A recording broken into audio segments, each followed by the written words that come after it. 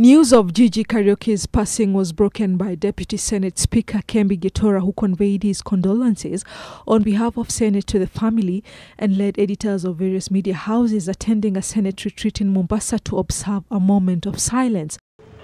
The veteran politician was admitted to the hospital last week and was pronounced dead at 11 p.m. on Thursday night in the presence of his family members.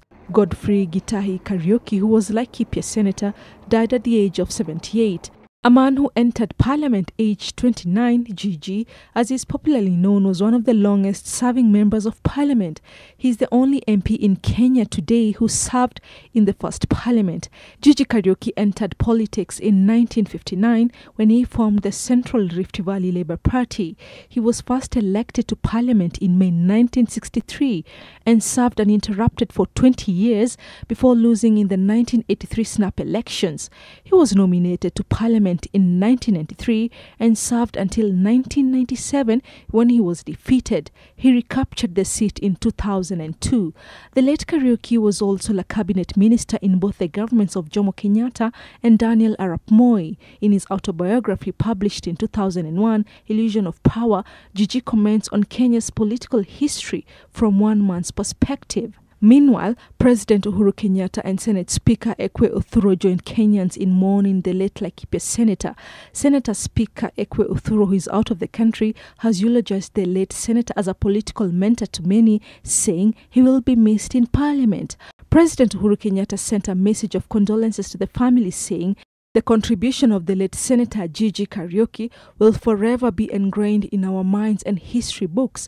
As a young leader during independence, he played a key in resolving land conflicts and the resettlement of squatters, particularly in Laikipia, as well as standing for the rights of all Kenyans, where he felt they were being trampled by those in authority. On his part, Deputy President William Ruto said G.G Kariuki leaves an indelible mark in the Kenyan body politic and national psyche. His legacy will live in the country's collective memory for long. Senator Kariuki, in spite of his age, in spite of his experience, always behaved very with a lot of humility. He was a man again of great authority in, was, in what he was doing and what he wanted to see most and in most of his contributions in the Senate were to do with security. Mzee ambaye alikuwa na elimu au ujuzi kuhusu mambo ya serikali na hata mambo ya kuendesha bunge.